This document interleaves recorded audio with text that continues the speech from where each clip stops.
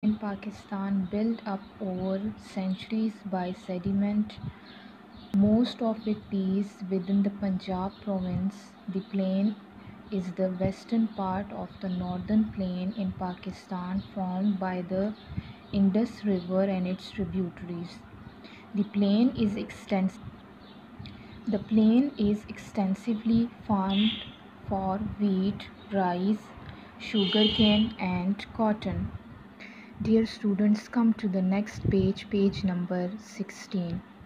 Our next region is deserts. Deserts, despite being very hot and dry, are amazing places for landform formation. Wind, water, and heat contribute to the formation of desert landforms. The natural resource of deserts are coal, gas, and oil. There are very small scale agriculture, cattle farming, and cottage industry. Dear students, come to the next page, page number 17. Our next region is coastal areas. Many people living near the coastal areas are engaged in the fishing business. The land here is not suitable for large scale agriculture, though vegetables are grown and there are some farms where fruits such as coconut, guava, and papaya are grown. The main city on the coast is Karachi, the capital of Sindh. Karachi is home to thousands of industries and provides a livelihood for people from all provinces of Pakistan who move to Karachi seeking work, as well as its two ports of Keamari and Port Qasim and a large shipyard. A new town, Gwadar, is being developed further west along the Makran coast. Our next region is Delta. Next region is Delta. Is Delta.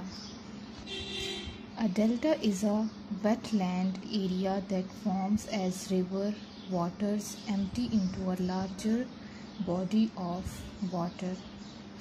Deltas get their name from a Greek letter of the alphabet, and there is evidence that deltas can exist on other planets. The natural resources of delta are water and fish, and people are engaged in agriculture and fishing. Our next heading is How can people change the land?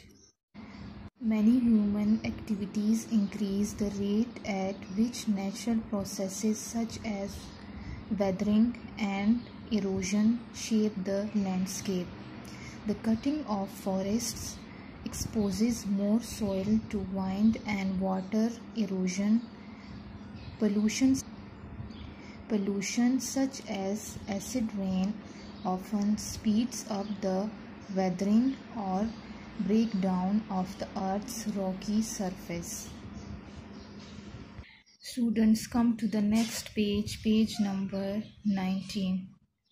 Our next and last heading is How does an altered landform affect lifestyles? The earth has many landforms such as plains, valleys, and mountains. Erosions helps change the shape of landforms. Landforms affect where people build houses and communities. Many people live on plains because